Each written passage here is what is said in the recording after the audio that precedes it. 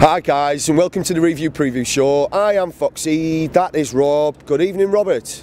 You alright? Hello, I'm alright, but just to show you guys our commitment, we are stood outside the riverside, absolutely Baltic. I won't show you my hands because I can't move them. So let's talk about the games. We'll have a quick chat about Sunderland because it is going to be a quick chat, and then we'll just have a quick dissection of the Leeds game that we've got hopefully coming up tomorrow. So, Sunderland, poor performance, don't think we deserved anything. And really, pretty much, majority of the game was them. Cattermole actually led led from the front, uh, led, led, led, led his team from the front to a point. I was very surprised with the Cattermole performance, actually expected him to get sent off, but we know that wasn't where the trouble was. So let's just break it down. Asoro scored straight away. Ben Gibson, pill mistake. I don't understand why this guy um, can't jump, but he's looking worse and worse every week. I hate to say that. Where's the Gibson gone that was in the Premiership? Maybe he went when Chambers went. We don't know. That's something for you guys to get in touch with. So, poor goal, Asoro. And then you think, right, okay, we have a sending off. Salter on Traore. It was appalling, we'd all agree. About 10 15 minutes later, so there we are, we're back in the ascendancy. Let's capitalise on that. And what do we do? We don't do anything. We end up getting a sending off with the main man. Justified? No, it wasn't a sending off, but the way that he reacted, it was a sending off. Now that's something that needs to be ironed out. Where's the level of professionalism? I'll talk about that in a second. But the kid had, he, he was, he was, he was, it was harsh. You can tell by his reaction that it was something bad because players don't react like that, as we all know, unless something bad's gone on. But we managed to shoot ourselves in the foot. He goes off. We come out second half, and there must have been some sort of war cry at half time from Pulis. Can't have been much. We come out, we equalise. Great finish from Bamford. Great, great, great finish. Another another goal from his repertoire of ability that he's got. Very intelligent. He's all he's doing for me now is showing that he's got everything in the locker to be a real good player. So again, consistency is key. We know that. But great finish, first one. Then we get a penalty of Assombalonga, the first thing he's done in a while. To be fair, it's the first opportunity he's had to do anything in a while. But it was a penalty, great finish, led better 2 1 up. Now, at that point, 10 minutes in a derby, we are the better team, 2 1 up. Why aren't we closing these games out, guys? Tell me. They equalised through Williams. Again, it is another poor goal. He's just skinned down in. Didn't want to get close to him at all. I think he wanted a clock off. So we're 2 all.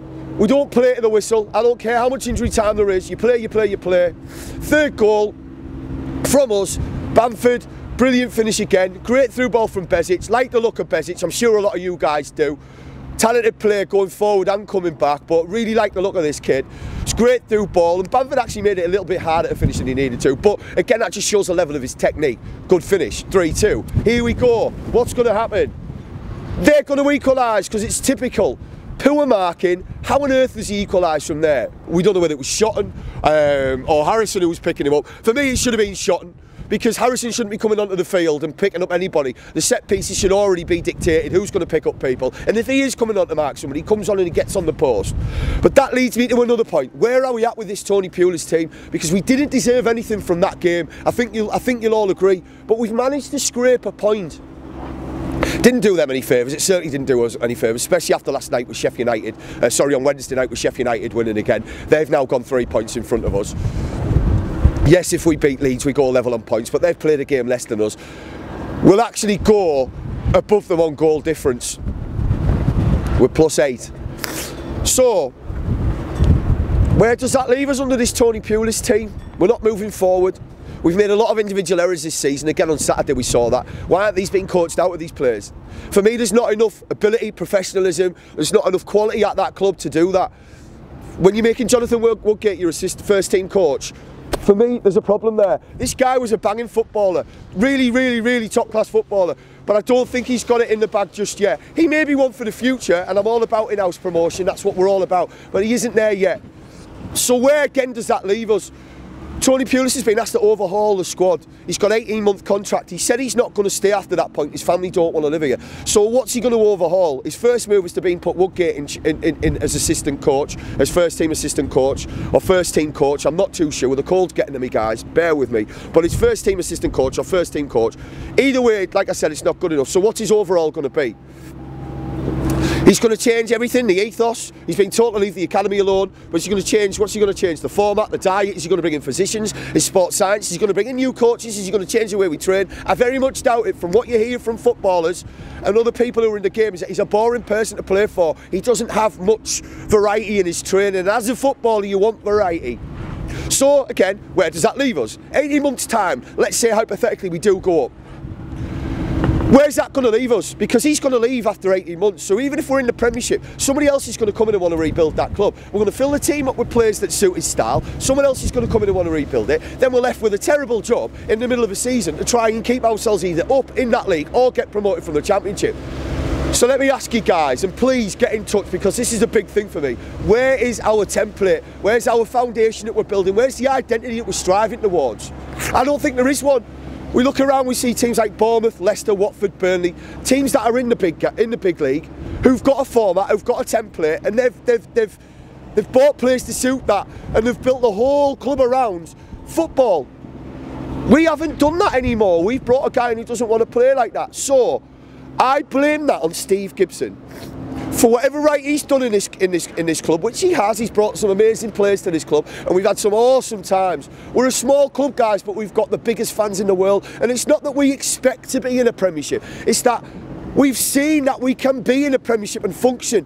And that we're capable of being there, and that we're capable of having a foundation under McClaren, under Brian Robson, that works. So that's been lost since Southgate for me. We've stumbled through managers over the last 10 years without real any kind of, again, template, anything to move forward on for people to build. We've brought different style managers in who do different things and we can never have any continuity. So for me guys, this game tomorrow against Leeds, it's important for the fact that we don't want to lose because as a Boro fan I don't want to lose. But as a Boro fan also I'm quite confused because I don't want to go up with this team for the reasons that I've just mentioned. It isn't going to help us in the long run. I'd rather we take a step back now. We bring in a manager that wants to build a team that wants to pass, wants to create with youth, and we have a foundation because I don't want to, I don't want to lose my identity or my integrity. And I feel as if that's what's happening right now. But again, guys, that's something for you to talk to us about. The way we're going right now, we're not going anywhere fast. Right, so let's talk about Leeds United. Not being very impressive in 2018, as you'll, as you'll all know. We've only just got the first win the other night against Brentford. They've had a couple of results in there which was against their promotion rivals, Derby and Bristol City, where they've had a couple of two-all draws, where they've actually come back from. Shown a bit of character actually. So they are they are a team full of character, but they have a bit of a British core with kind of a European flavour to it. So Liam Cooper at the back, as I've mentioned, uh, centre back Scottish captain. Eunan O'Kane and Kalvin O'Phillips will probably play in the middle with them too. British, uh, English and an Irish guy, two defensive minded players. Also maybe Kemar Roofe might play up front. Uh, talented player, didn't play the other night against Brentford. And then sprinkled around that we've got Samuel Saiz, Alioski, Lasogga, Hernandez. So let's just break that down even further. This is a dangerous team, guys. Don't don't be fooled by that. Yes, they haven't been playing very well recently, but they have got goals all over that team. It's kind of strange, really, because it looks as if teams have run off and had a great result, great run of results, and Boro have just kind of plodded along, plodded along, and we're kind of in the same positions as these teams. I'm going to talk about the goal scorers, like I say, and, and, and, and the, dangerous players, but it's kind of been a tortoise and a hare seasons for me.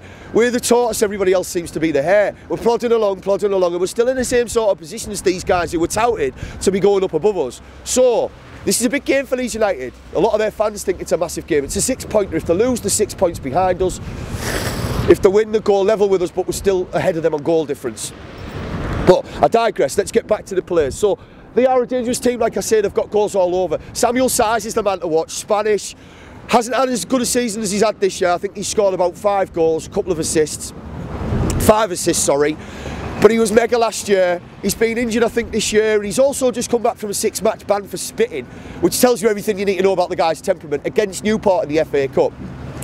He is a talented player. It was a bit of a coup when they bought him. A lot of La Liga clubs wanted him. We got him from a second division La Liga, uh, second division Spanish club, but a lot of clubs wanted him. He's one to watch. He's their main man. Along with Alioski, who plays on the right or the left. He's actually defended or plays for Macedonia, but he's played exclusively left or right across the front four for Leeds this season. Um, six assists, a few goals. Talented, talented player. Also, they've got the Lasogga up front, who you might know replaced uh, Chris Wood, who went to Burnley similar type of player. Uh, he's actually strong, he's big, he likes it into his feet. Again, that suits the way they play. Quite direct, not direct as us, 4-2-3-1. But Lasogga, powerful in the air, he'll be one to watch. If Gibson and Ayala aren't on the day, he will take them to pieces. He scored 10 goals this season, 3 assists. We talked about Alioski, we've talked about Saiz, who's a man. Hernandez is another one who's chipped in a lot. So's Dallas, who's English, he's chipped in a little bit. But also within that, you've got Kalvin Phillips and Eunan O'Kane, I've mentioned. Now, O'Kane hasn't scored in the league, I don't think, this season, but he's had three assists. Kalvin Phillips has scored a couple of goals, he's had five assists. They'll play with maybe Vurnon and and Berardi either side, full backs, and they will get forward. They like to sit deep in their half and play football, keep possession and look for a counter-attack. But they do also like to get shots off. Alioski, as I mentioned, loves a long shot. He loves working that touchline, but he's also quite aggressive. As his Saiz, as is Kalvin Phillips, as is Eunan O'Kane, they're an aggressive team. There's been a lot of red cards there this season, but as we've mentioned temperamentally, these are people to target maybe. Um, I think Alioski will probably be Marc Traore. I think he'll try and stick to him. Whether he can or not is another thing. But as we have, uh, and we haven't mentioned that. But Traore obviously is a ban, which is a massive plus for us. But it's about temperaments this game, and I genuinely feel if we can we can keep our temperament and be professional, yes, we can win. But like I said, we've got two options of scoring. Really, it looks like Bamford and uh, Bamford and, and Traore. But that's it. If you nullify those, what we're going to do, and as we showed against Sunderland on Saturday, when we let a terrible, terrible team, no offence, Sunderland fans, but I just want to be realistic, score three passes and should have win. Should have won. What are Leeds going to do to us tomorrow? I'm not going to talk about the reputation we've got at the Riverside and that we haven't done well against them for 20 odd years because I think you can spook yourself and it's been different teams and different eras, so I'm not all about that. But what I do know is, as I've mentioned, they're frightening. And they are, as much as I hate to say this, Boro fans, but from a football point of view, they are a good championship team. There are a lot of average teams in this league, we've discussed that. But this is a team that, on the day, can do, can go on a run and can get promoted. So where does that leave us? It leaves me confused, I think Robbie's too, because the result against Sunderland didn't really do anything for us. And like I said, Sheffield United won the other night, which puts them further in front of us with a game, a game to play, a game to spare. So where do we want to be? I don't want to go up with this team, as I've mentioned about Boro uh, a few minutes ago when we were talking about that. I don't think this team wants to go up because it's only going to end up getting rebuilt. But I won't go over old ground. So I'm confused. As a Boro fan, I hate the fact that we've lost all week and we've been appalling all week or we've drew all week and we've been negative. But as soon as it comes around to match day, my positivity kicks in because I love this club like we all do and I want us to do well. But the long-term goal and, and realistically, even as an optimist, I don't want us to go up this season. So, like I say, I'm confused. Where does that leave us with the result? Rob? One all. I was going to say a similar thought of thing. Ah, a similar sort of thing. Sorry, guys, the cold is absolutely hammering me there, so sorry. Two all, I think, or two one Boro. But again, that's my heart rule in my head. Two all, I think. Look, guys, we've got a competition on for two season tickets next season. You have to get in it to win it. You have to subscribe, like, share, Facebook, Twitter, YouTube. You have to become one of our followers to have a chance of winning two season tickets. Like I say, even if we're in the championship, it's still free football, isn't it? So get involved with that, guys. And listen, whoever you are, wherever you are, peace out. It's in the blood.